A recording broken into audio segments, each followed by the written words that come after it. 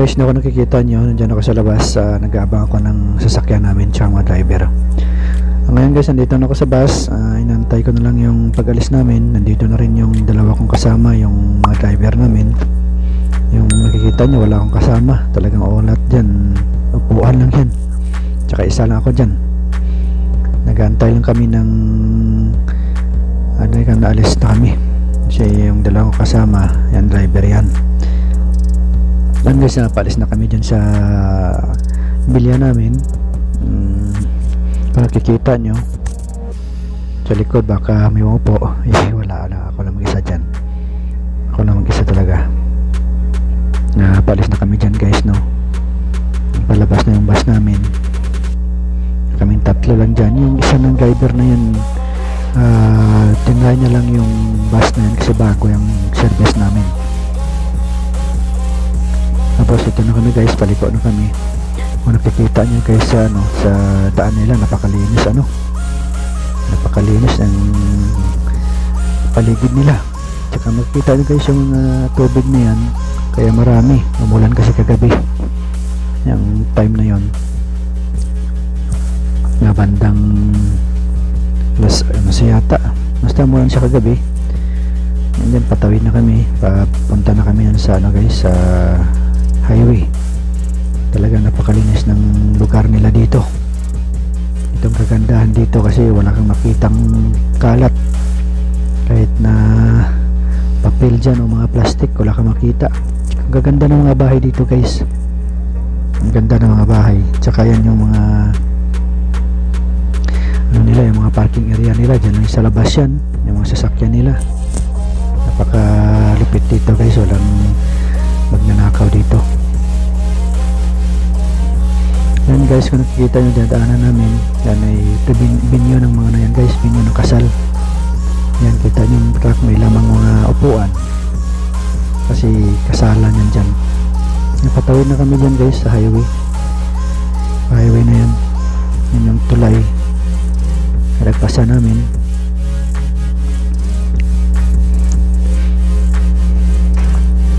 Kahit yung sa ilalim ng tulay nila guys napakalinis wala mo lang kakalat-kalat.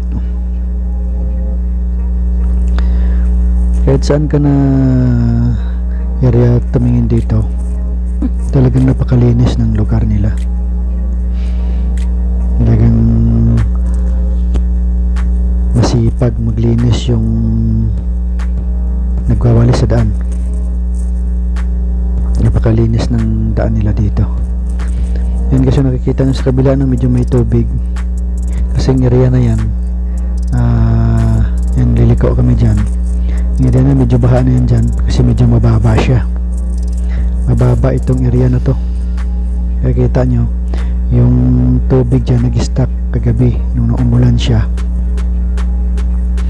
Dahil dito guys walang ano walang drainage ano. Wala siyang pupuntahan yung tubig pag umulan. Kung nakikita nyo kung saan saan na lang uh, napupunta kung saan yung mababa doon talaga yung tubig. Kasi walang drainage eh. Nakikita nyo baha na siya. Medyo malalim yun guys ano? Medyo malalim yung area na yun.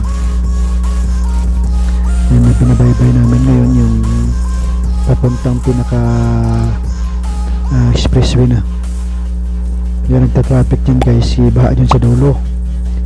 Ang pinakadulo nun yung sa may truck na nakikita nyo yung baha yan dyan kaya medyo mabagal. Nagta-traffic yan dyan sa area na yan.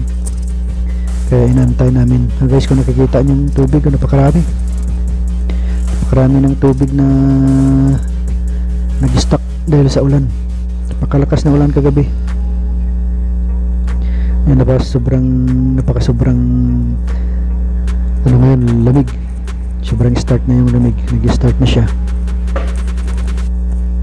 yan guys so wala kang pupunta yung tubig dyan yan talaga yan.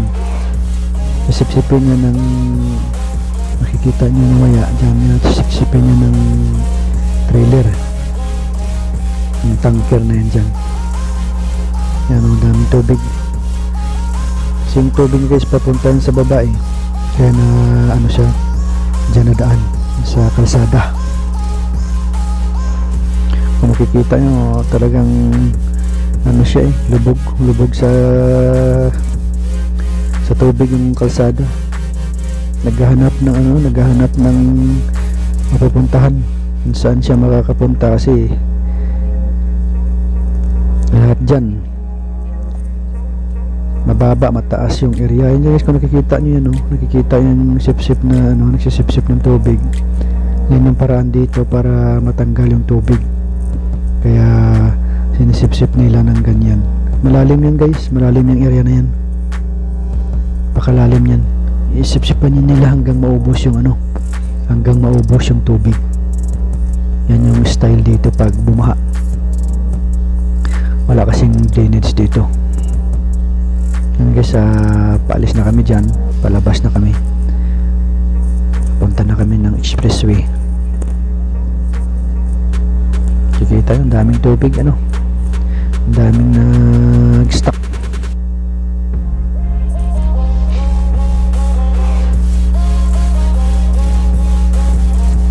nagka-swimming yung mga sasakyan guys ano?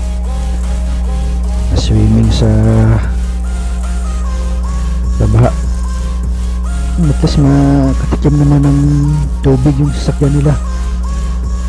Yun guys uh, palabas na kami. Nandiyan na kami sa expressway expressway yan guys ano pinaka expressway nila dito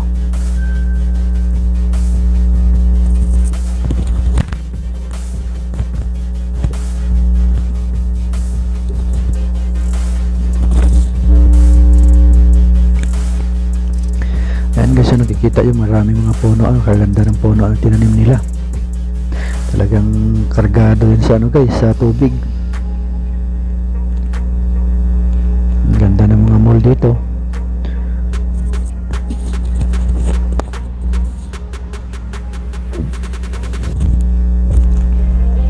Napakahaba ng mall yan guys. Ayan o. Di ganito lang yung mga mall dito guys, hindi siya matataas.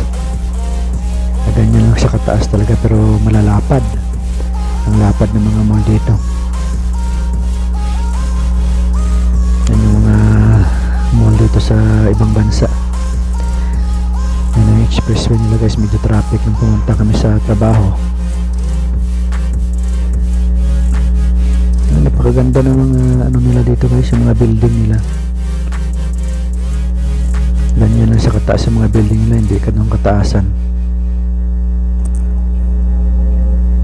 Tsaka napakaganda ng ano ng paligid nila napaka aliwalas kumbaga kasi may mga puno-puno din eh. May nalalaman sila mga puno-puno. Kaya lalo gumanda yung paligid nila kahit sabihin natin na desierto ito pero na-develop na nila. Napakaganda ng mga kalsada nilang lilinis. Napakalinis ng mga kalsada. Tsaka marami pa silang dinidevelop dyan ng mga lugar. Ang mga establishment na mga store yata yan o mga basta may mga bentahan ng mga cellphone yan dyan yung excite na yan. Yung kasi papunta na kami na ng ano punta na kami ng trabaho. Ay nakikita nyo guys yun sa taas yan na may daanan yan dyan pa taas. Napakaganda ng mga building nila yan. Charier na yan guys. Puntahan din ng cellphone yan, yung mga general bookstore, yung mga libro, lahat kompleto yan dyan. Yung guys, kung nakikita nyo, napakalinis na paligid nila.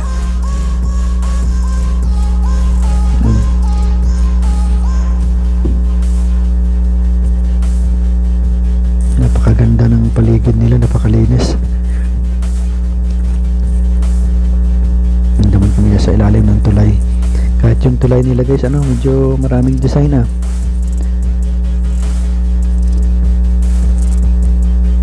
Napakaganda ng dinadaanan namin dyan kasi napaka aliwalas ng paligid. Baga hindi ka manawa sa kakatingin ng makikita mo kasi maganda mga tanawin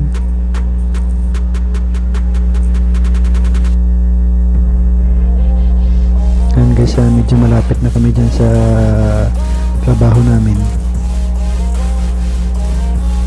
Nakikita ka dyan guys, no? Gaganda yung mga building nila dito.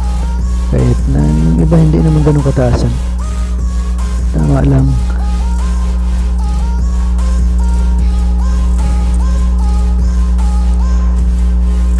tsaka isang pinakamaganda dito guys yung daan yung paligid nila ay napakalinis. Mga building nila guys so simple lang yung mga design. So ganda rin mga architect nila. Yan hotel yan guys. Hotel yung movie pic na yan. Pakalapad yan. Malapad na hotel guys ako natatanaw yung building. May mataas sila na building dyan pero talaga ano lang siya ilang peraso lang. Ang ganda yung lugar na yan. Ganda yung lugar na yan dyan guys kasi mayroon dyan ayun winterland yan yan sa taas na yan. Sa baba na yan winterland yan. Yan yung pinaka famous nila na site din dito yung mga building na yan mga pumpok-pumpok na yan. Pinaka famous na site nila sa uh, Riyadh. Ayan guys na malapit na kami dyan sa trabaho namin. Uh, kahit saan ka lang pumunta dito guys uh, maganda yung ano nila yung lugar nila. Yung paligid nila dito napakalinis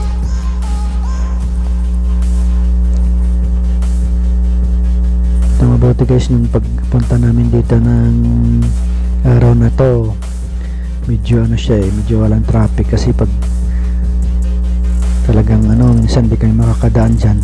Grabe ang traffic dyan. Napaka traffic yung lugar na yan. Ito na guys yung service road na papunta sa trabaho namin. Dito na yung tinatrabahohan ko ng malapit lang malapit lang siya sa lahat. Saka medyo malayo lang sa bilya namin itong trabaho namin.